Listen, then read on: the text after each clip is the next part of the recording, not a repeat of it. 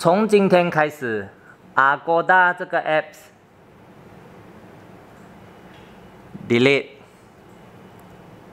delete，不推荐大家用阿哥达这个 apps 来 booking 任何住宿。我在这样的国家穿着 hoodie，因为那是我的少。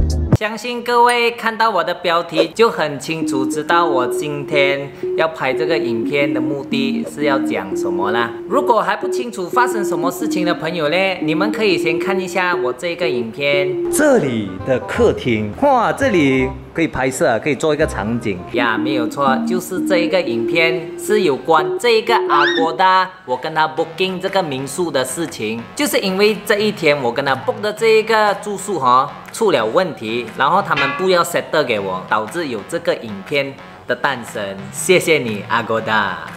那首先我先跟大家解释一下什么情况。当时呢，因为我们有几个人一起要去这个 KL 办这个拳赛嘛，所以我就必须要 book 一间比较大的民宿，然后让大家可以一起住在里面。所以我就去 Agoda 的 apps 里面去 booking 咯。照理来讲，如果我 book 到的时候呢，他就会 send 我一个 email，然后这个 email 他就有 send 到给我，也就是现在你们看到的这一个 email。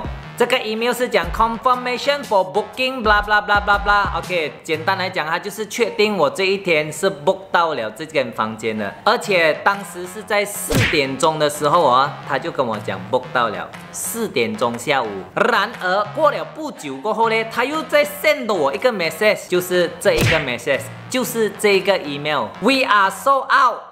At 的什么什么，就是我 book 的那间房间，他讲 sold out 了，也就是在半个小时后，他跟我讲 sold out。那么如果你们是一个正常人的话，你们是不是收到这个 message，你们自然反应就是哦，马上再 book 多一间，是不是这样子？你跟我讲是不是这样子？是不是你跟我是一样的吗？我们都是正常人嘛，对不对？所以当下我就马上再 book 多一间，在他隔壁的那一间就 book 咯，没有办法嘛，因为那间没有了嘛。突然间，那个 property 的人就打电话跟我讲，哎。你是 book 了两间房啊？心想说惨了，出事情了。后来我跟他讲了整个状况了过后呢，他就跟我讲哦，要跟阿哥达那边 set 先。如果阿哥达他们愿意退钱给你们的话呢，就阿哥达那边会退钱给我啦。要不然的话，如果他们不愿意退钱的话，就变成 property 他们那边自己退。可是他们不会退全数，他们会退一半的钱给我。可是我怎样想都不对，因为这整件事情哦，是因为阿哥达这个 Apps 哦他发了这个 email，是因为他发了这个 email 给我呢，所以才导致我再 book 多一间呢。